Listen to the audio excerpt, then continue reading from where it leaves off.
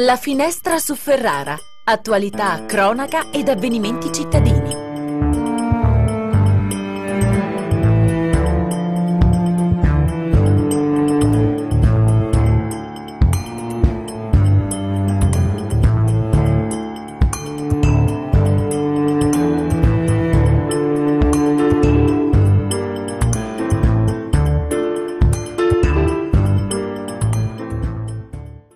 Bentrovati all'ascolto della finestra su Ferrara. Oggi, come ogni giorno, apriamo la nostra finestra sulla nostra città per parlare di sanità, per parlare di salute. Siamo durante il mese della prevenzione alcolica e con noi oggi a parlare di questo tema sono le psicologhe Roberta Nocella e Natascia Farina dell'unità di strada del SERD di Ferrara. Inizierei con una prima domanda proprio a Roberta Nocella chiedendo come opera l'unità di strada del SERD. Sì, salve, buongiorno a tutti. Comunità di strada ci occupiamo prevalentemente di prevenzione, ma prevenzione su più piani, quindi parliamo di una prevenzione primaria, di una prevenzione secondaria e di una prevenzione terziaria. I luoghi in cui operiamo sono vari, quindi noi possiamo operare sia all'interno del servizio e quindi accompagnando le persone che presentano un problema di dipendenza, ma anche fuori in luoghi decontestualizzati, quindi operiamo ad esempio nelle scuole, operiamo in rete con altri servizi, non necessariamente solo i servizi sanitari, con lo scopo di informare, informare sui rischi legati al consumo di alcol e sostanze. Oggi parliamo ecco proprio di, di alcol, parliamo di alcol perché come servizio stiamo assistendo ad un aumento delle richieste, soprattutto legate proprio ai problemi, a un uso problematico di sostanze psicoattive e nel caso specifico eh, legato ad esempio all'alcol ma non solo, perché stiamo assistendo chiaramente ad una fase storica molto difficile dove ognuno di noi si è dovuto confrontare con delle problematiche notevoli legate allo stress indotto dalla pandemia, quindi stress legato non necessariamente solo all'isolamento sociale, ma anche allo stravolgimento di tutta quella che è la vita personale, dalla riorganizzazione familiare a eh, una quotidianità che è venuta a mancare. Ecco che le fasce di popolazione che sono state colpite maggiormente sono proprio quelle che presentavano già una situazione vulnerabile, una vulnerabilità legata a una situazione sociale, una vulnerabilità economica o delle condizioni precarie di salute psicofisica e, e chiaramente lo stress che stiamo vivendo può alle volte farci sentire in una posizione in cui non abbiamo le risorse per poter affrontare un dolore o una sofferenza. Proprio per questo motivo il rischio di cadere in comportamenti problematici può essere molto elevato e il rischio anche di trovare delle strategie strategie che possono alleviarci da un dolore in una maniera eh, immediata è proprio dietro l'angolo questo rischio, per cui spesso molte persone trovandosi ad affrontare questa sofferenza eh, possono trovare delle soluzioni, come dire, facili e tra queste soluzioni troviamo l'uso di, di psicofarmaci o l'uso di alcol, un uso che però eh, stiamo vedendo che diventa problematico proprio perché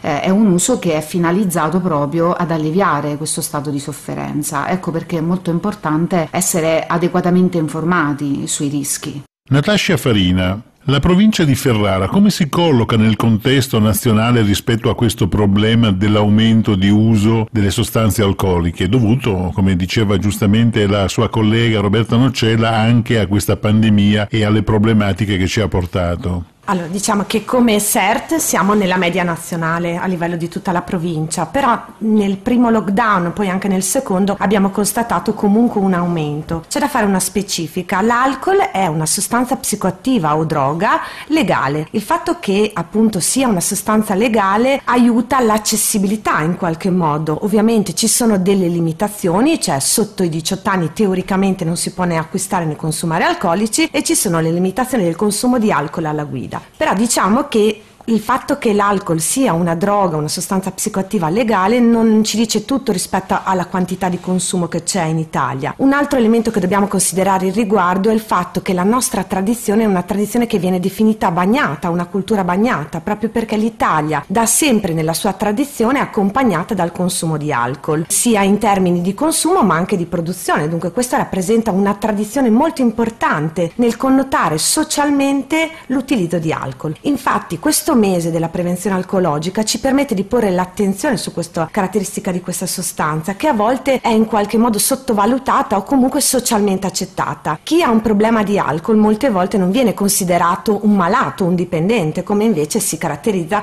qualsiasi altra dipendenza da sostanze diciamo illegali, ma lo si considera più una persona che ha un vizio oppure una modalità di stare con le persone, di fare festa, di festeggiare, insomma, in qualche modo, di essere sopra le righe. Questi elementi in realtà che connotano il consumo di alcol sono enfatizzati dalle caratteristiche stesse che ha l'alcol. Infatti l'alcol come sostanza, anche se apparentemente ci può sembrare una sostanza un po' eccitante inizialmente perché ci disinibisce, in realtà è una sostanza sedativa che va a sedare proprio la nostra parte più razionale. Sedando questa parte più razionale ha in realtà un effetto che permette di socializzare meglio e dunque di sentirsi più disinibiti, più sciolti, di riuscirsi a approcciare con le persone in modo più tranquillo, senza pensare alle conseguenze. Ed è proprio una caratteristica fondamentale che va a fare pressione su quelle persone che sono considerate un po' più timide, un po' più introverse, dunque che fanno più fatica a mettersi in gioco nelle relazioni con gli altri. Un altro aspetto che abbiamo rispetto all'alcol che incentiva il consumo di alcol è il significato che noi diamo al bere, tipo l'idea di staccare a fine giornata, di rilassarci, di non pensare, di conciliare anche il sonno. E anche questi aspetti fanno parte delle caratteristiche e degli effetti stessi che l'alcol ha. Diciamo che in questo periodo di limitazioni noi abbiamo visto comunque un aumento anche rispetto delle persone che avevano concluso positivamente un programma per la dipendenza da alcol. Come diceva Roberto, ma nei momenti di stress noi tendiamo in qualche modo a mettere in atto quei comportamenti che se anche poco funzionali ci sono serviti per affrontare lo stress e le situazioni difficili. Dunque, limitazioni, una persona che usava alcol, anche se è riuscita in qualche modo a stare meglio,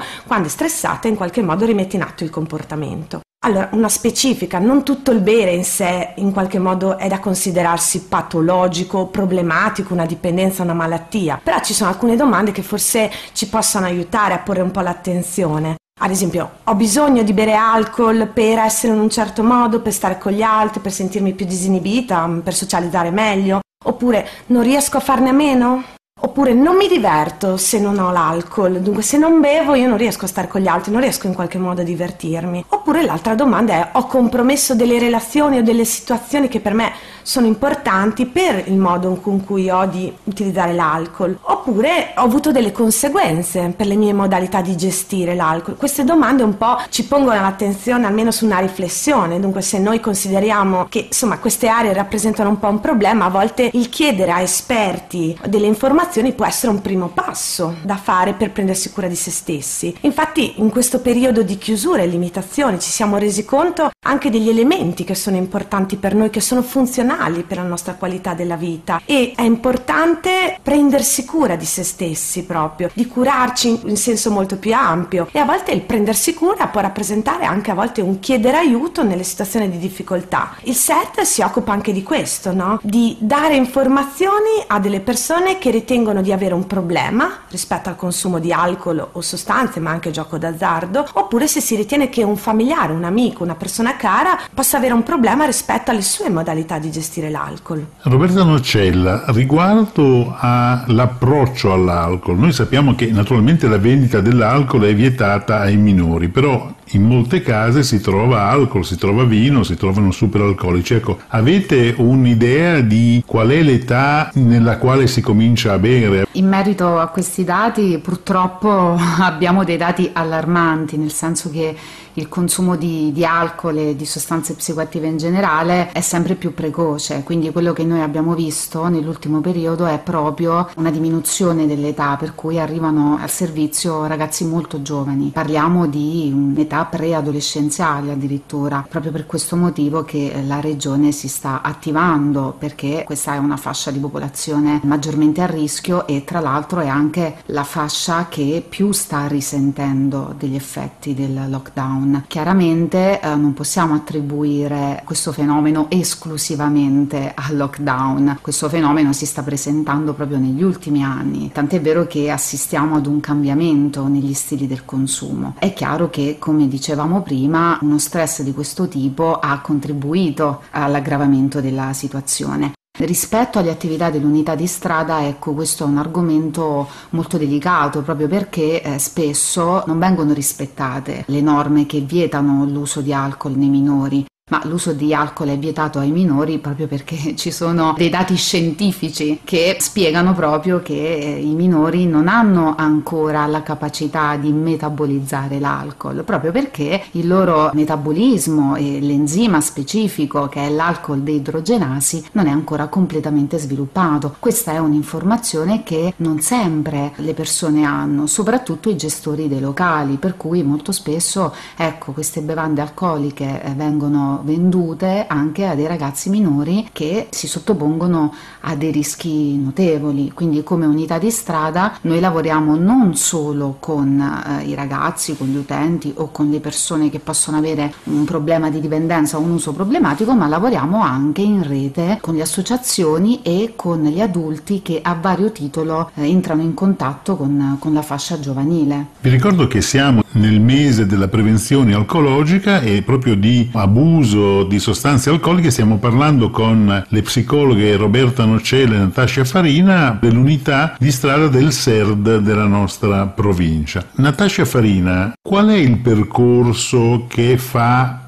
o che può fare chi si rivolge a voi per cercare diciamo, di affrontare quello che può essere un problema di abuso di sostanze alcoliche? Intanto facciamo una premessa, il servizio per le dipendenze patologiche fa parte di un dipartimento assistenziale integrato che si chiama appunto Dipartimento Salute Mentale e Dipendenze Patologiche, che si occupa in un continuo in qualche modo tra i suoi obiettivi di prevenzione, diagnosi, cura, trattamento e riabilitazione dall'infanzia all'età adulta. In particolare appunto appunto il servizio per le dipendenze patologiche si occupa di dipendenze, dunque delle problematiche legate alla dipendenza, sia rispetto alle sostanze che vengono definite sostanze psicoattive legali come l'alcol e il tabacco, ma anche quelle illegali, principalmente eroina, cocaina e cannabinoidi, ma si occupa anche delle dipendenze da comportamento come il gioco d'azzardo. I servizi per le dipendenze patologiche si occupano di attività in un continuum tra riduzione del danno, Prevenzione, diagnosi ma rispetto alle dipendenze, dunque come si consuma una determinata sostanza, cura, trattamento e riabilitazione.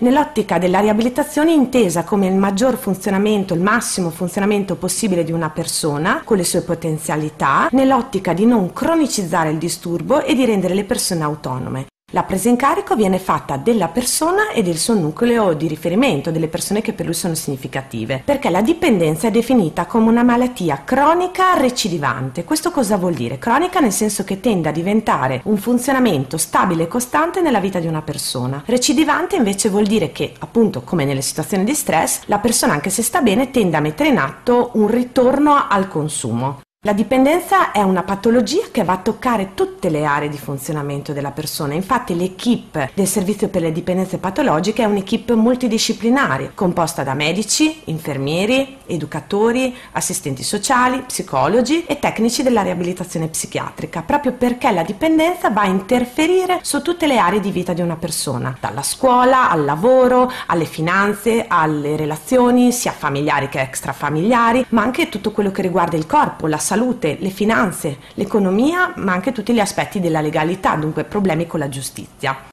Al servizio per le dipendenze patologiche si può accedere senza impegnativa e senza nessuna prescrizione da parte de, né del medico di base né da parte di nessun servizio. Una persona può accedere in modo autonomo. È ovvio che si richiede, e soprattutto in questo momento, una telefonata per prendere un appuntamento. Questo intanto permette di non creare assembramenti o attese inutili e soprattutto in servizi che in questo momento si stanno attenendo in modo molto scrupoloso a tutti i provvedimenti per il contenimento del contagio. Dunque questo si fa per la tutela sia degli operatori che di tutti i fruitori del servizio. Non è un servizio di emergenza, questo è il caso di specificarlo, nel senso che volontariamente o anche per provvedimenti di tipo sia della prefettura o di tipo legale, una persona decide in qualche modo di essere presa in carico al servizio per le dipendenze. È necessario avere residenza e essere iscritti al sistema sanitario nazionale, dunque avere tessera sanitaria. Dunque in base alla propria residenza si fa riferimento al SERD di provenienza. Nella nostra provincia sono presenti 5 SERT, il SERT di Codigoro e il SERT di Porto Maggiore che fanno riferimento al distretto sud-est, il SERT di Ferrara e di Copparo che fanno riferimento al distretto centro-nord e il SERT di Cento che fa riferimento al distretto ovest.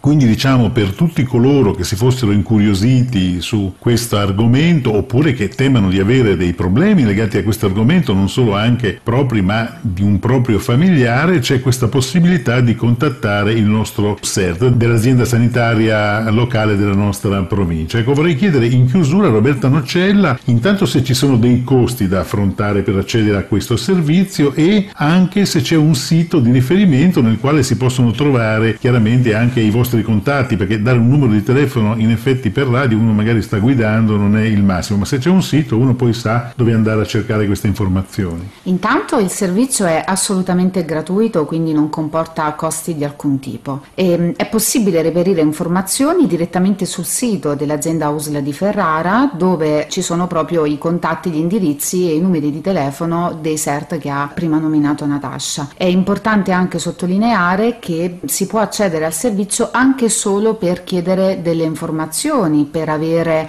un approfondimento e il servizio lavora in collaborazione anche con le altre realtà dell'azienda, ad esempio lo spazio giovani, per cui è possibile anche chiamare lo spazio giovani di Ferrara o lo spazio giovani di Bondeno per chiedere un approfondimento rispetto alle sostanze, soprattutto per quanto riguarda la fascia più giovane. Ecco. Bene, ringraziamo le nostre ospiti di oggi, vi ricordo le psicologhe Roberta Nocella e Natascia Farina che fanno parte dell'unità di strada del CERD di Ferrara e quindi si occupano di tutte quelle che sono le dipendenze, ci hanno ampiamente raccontato come si svolge il loro lavoro, ci hanno anche informato riguardo a quelle che possono essere le necessità di qualcuno che avesse una problematica del genere o avesse individuato che nella propria famiglia ci sono problematiche del genere, quindi ci hanno dato anche quelle che sono le indicazioni per poter contattare appunto questo servizio che vi ricordo è gratuito. Grazie a tutti voi per averci seguito fino a qui, grazie alle nostre ospiti. Grazie a voi. Grazie a voi. A risentirci alla prossima puntata della Finestra su Ferrara.